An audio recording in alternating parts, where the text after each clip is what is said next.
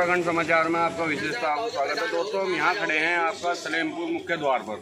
यहाँ पर परसों चार व्यक्ति कोरोना संक्रमित पाए गए थे, जिसके देखते हुए मैं अपने कैमरामैन को दिखाऊँगा कि वो दिखाएँ कि पूरा गेट जो है वो बंद कर दिया गया है। यहाँ पर काफ़ी ग्रामीणों की समस्या भी है।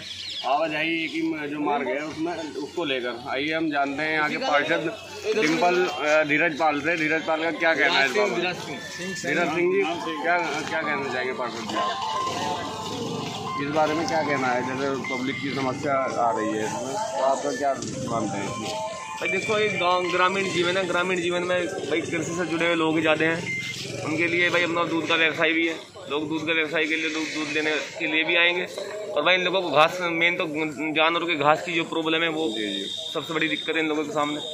फिर घर का जो कूड़ा कूड़ा है जैसे गोबर आदि हो गया वो भी डालने के लिए डेली एक घर में एक ट्राली गोबर हो जाते हैं आना पड़ता है। तो समस्या तो है भाई से बहुत ज़्यादा। तो ये किस चीज़ के लिए जो रास्ता है वो सलेमपुर? द्वार जो है मुख्य बंद किया गया है इसमें इसलिए जानना चाह रहे हैं हम आपसे। ये हमारे यहाँ कोरोना पॉजिटिव लगभग आज की डेट में थर्टी टू के आसपास मिल चुके हैं और दिन पर दिन पर दिन पर दिन केस ज़्यादा ज़्यादा बढ़ते जा रहे हैं। तो इस लोगों का आगमन किया है। मित्रों एक सज्जन हमारे सामने यहाँ खड़े हैं इनसे भी जानते हैं कि क्या कहना है क्या राय है? आपका? शुभ नाम? मेरा नाम राजा ठाकुर। ठाकुर साहब क्या है जैसे मुख्य द्वार बंद किया नहीं बंद तो होना चाहिए बेसिकली ऐसा कुछ नहीं है। बंद तो होगा सब सब हमारी सेफ्टी के लिए। लेकिन बंद का मतलब बंद होना चाहिए ना। और सब कुछ तो बंद है हमारे ठेके खुले पड़े सारे। तो अगर सारी वो ज़रूरत वाली चीज़ें तो है नहीं है। बंद है तो बंद जो हमारी सेफ्टी के लिए बंद होना अच्छा। चाहिए इसमें कोई वो नहीं। लेकिन सब बंद होना चाहिए टोटल बंद होना चाहिए। शराब के नहीं खुलना चाहिए ना। अभी पीछे शिवरात्रि थी जल चढ़ाने के लिए मंदिर तो बंद थे, कॉलोनी के सारे मंदिर बंद थे, लेकिन ठेके सारे खुले थे। ठीक है, बंद करना चाहिए।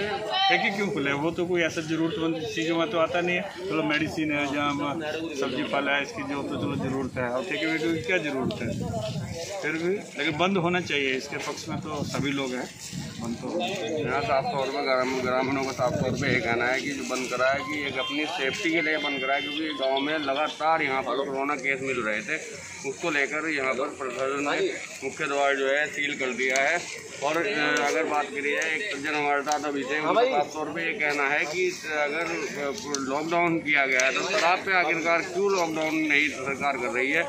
क्योंकि शराब से जिस तरह से यहाँ पे लॉकडाउन में भी शराब खुली, आम बिक रही है तो उस पर भी एक लगाम लगने की कोशिश लगाम लगाई जाए सरकार द्वारा। मैं आपका अपना न्यूज़ उत्तराखंड समाचार से चैनल हेड नमस्कार दोस्तों।